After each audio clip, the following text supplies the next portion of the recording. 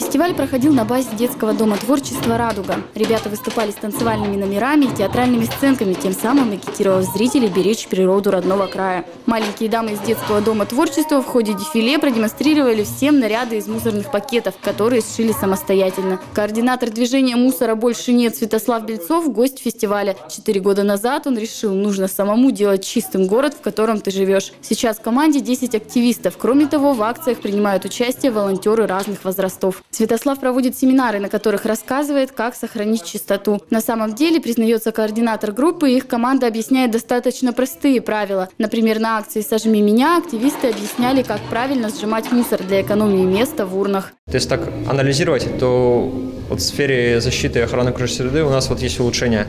С каждым годом как бы все равно вот есть какие-то э, те капли дел, которые мы делаем, они приносят свои плоды.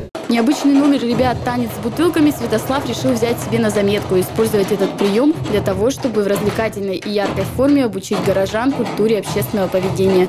Елена Валиева, Никита Мухин, Светлана Брагина, информационное агентство «Курган.ру».